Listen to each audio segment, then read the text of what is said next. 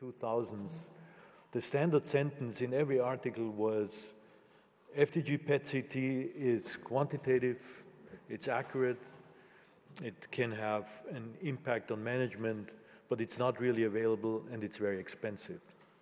And then the next sentence was, and prospective studies are lacking. Always the same. This is the dogma. These are the dogmatic people. This is how it all started, and uh, some of you may remember Richard Nixon. He actually started the war on cancer, and that dates back to 1971, so fairly shortly before he was forced out of office. And uh, what he came up with uh, to finance the war on cancer was 1.6 billion billion dollars at that time. And what I'm always struck with when you look at the statistics on, on cancer survival is that not that much has actually changed. The, what has changed to a certain degree is the incidence of cancer, with some of them rising, like neuroendocrine tumors, for instance, but some of them really coming down, like now in the, in the uh, mo most recent data, lung cancer that is coming down. But overall, survival rates are not that different. Part of it is due to the fact that we still don't detect it early enough, and part of it that we have not made uh, sufficient progress in cancer medications. We have made some progress, but it's, it's not sufficient to really make, make an impact. And then the question is, of course, can our diagnostic approaches help to improve the outcomes of cancer patients? And that is asking much from diagnostic modalities to really impact survival. This is something that was usually reserved for therapeutic options rather than diagnostic options. The presence and the extent of disease, and we can ask the question whether the cancer therapy works. This is an example that I like because it consists of a baseline scan, then the patient receives what we call a targeted drug, which is one of these drugs that patients take orally side effects, but less side effects than uh, chemotherapy. Only certain patients qualify for these drugs. They need to have a certain mutation in their cancer cells to get this drug. But still, not all patients respond to this treatment. This is done within two weeks after start of treatment. This is all cancer. Two weeks after start of treatment, there's almost no activity seen, no glucose metabolic activity seen. And this is the late follow up in these patients without evidence for cancer. So without knowing whether the treatment is effective or not is, in my view, criminal. So we shouldn't be doing this. In this case, you see that the patient has exploding disease even two weeks after uh, initiation of treatment with markedly increased glucose metabolic activity. This thing gets larger very quickly. This treatment doesn't work. So if there's any other treatment, you should use it rather than keep the patient on this treatment that is failing the patient. And that's the financial toxicity of the treatments. These are real statements. This is one from Novartis. They did develop a very, very expensive immunotherapy that, in part, can be extremely effective but look at the numbers, it's $475,000 for a single infusion. This is really expensive to do, I completely agree with that, but the, the financial implications are significant. And that's the comment. While both uh, external and Novartis quantitative assessments of these values indicate that a cost effective price could be $600,000 to $750,000 per infusion, we recognize the importance of this paradigm shifting therapy and are setting the price as 475 $1,000 for this one time treatment. And that should make you wonder how society will do these kind of things. And it should make you realize that it is really important to have tools available that tell you early on whether treatments work or don't work. And I just listed this here the annual cost of new cancer therapies in the United States is estimated at around $200,000 a year now. Now, that's probably double or more than what it costs in Europe, but the costs in Europe are still not negligible. If you continue treating with something that doesn't work, this is a pure waste of money, it's toxic, it's unnecessary, it's dangerous for the patients. So, this is really the key questions. What are the cancer care cost drivers? This is again US numbers, cost in billion dollars in 2010, 125 billion. In 2020, it will be 165 billion per patient per year. Costs on average $52,000. And here you look at the percent of total Medicare, which is the public insurance systems for people older than 65 in the United States, what, what the contributors are. Inpatient admissions account for 24%. Of course, hospitals are expensive. We all, we all know that. Other outpatient services like labs, pathology, non cancer related drugs, 21%. Chemotherapy and biologics, 20%. Cancer surgeries, 11%. Professional services, just physicians, nurses, and so on, 8%. All radiology in this analysis, 6%.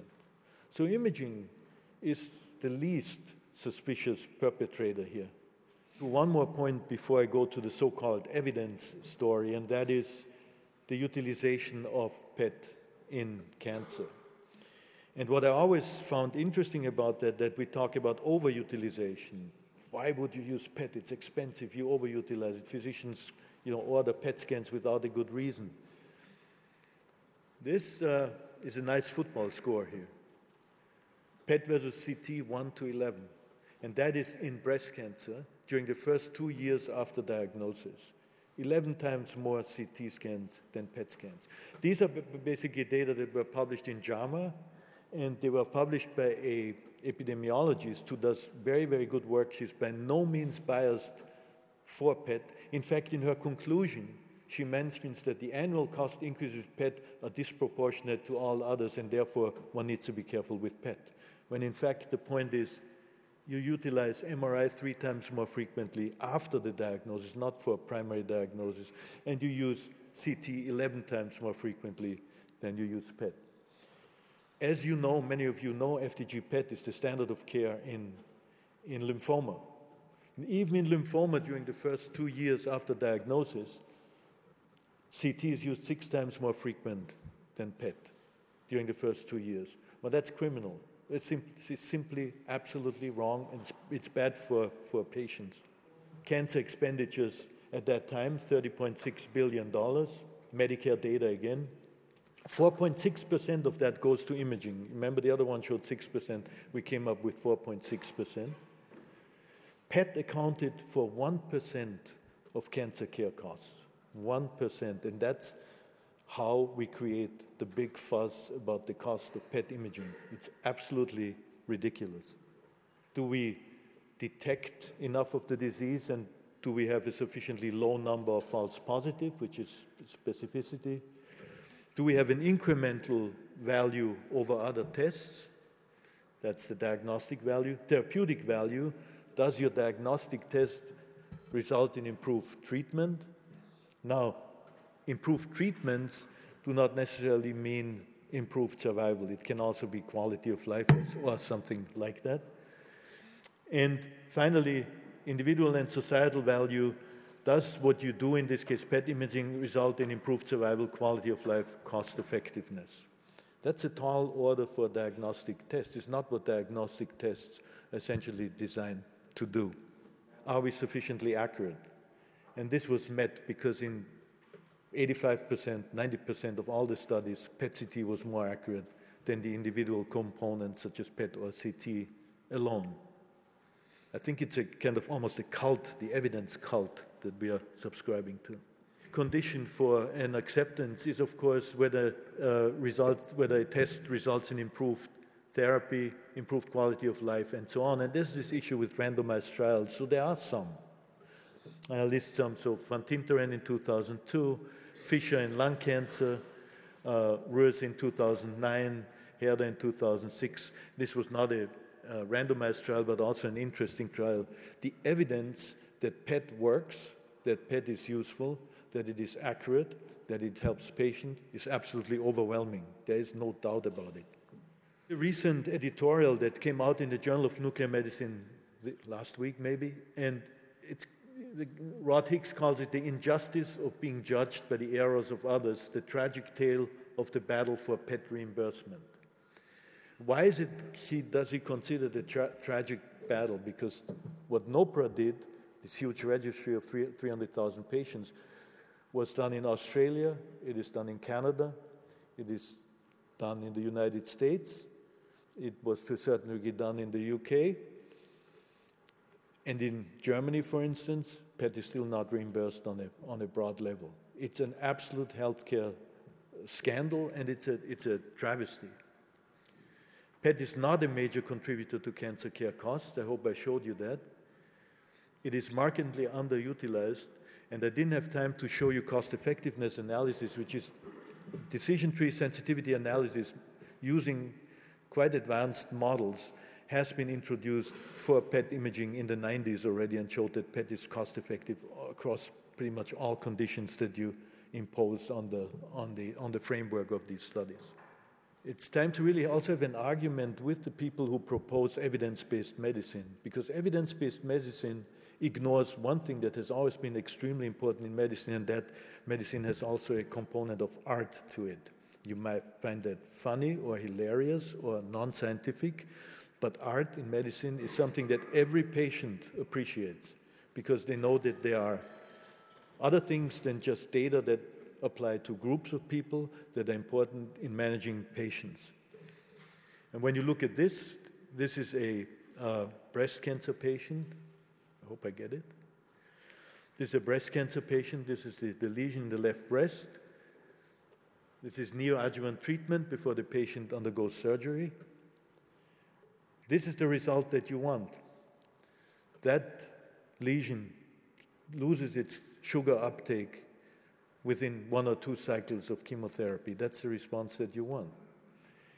If you don't get this, then you need to change your treatment. And if you don't change the treatment, you will give four, five, six cycles of chemotherapy that doesn't work, and the patient and you don't even know it. And I think that's simply absolutely wrong and it's totally unacceptable. Coronary artery bypass surgery would not exist if we would have applied evidence based medicine standards as they are applied now. Same for cardiac transplantation, stem cell transplant, renal transplant, liver transplant, CT imaging in cancer or trauma, MR imaging in anything, ultrasound imaging in anything, plain film x rays, nothing, no evidence based medicine. Nobody needs it. Very limited need. We don't need it. So, what I always try to say is let's use common sense.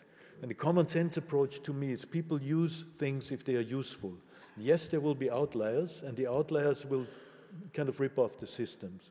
But monitoring the whole system is much more expensive than allowing to identify a few outliers when they do, when they do their rip-offs.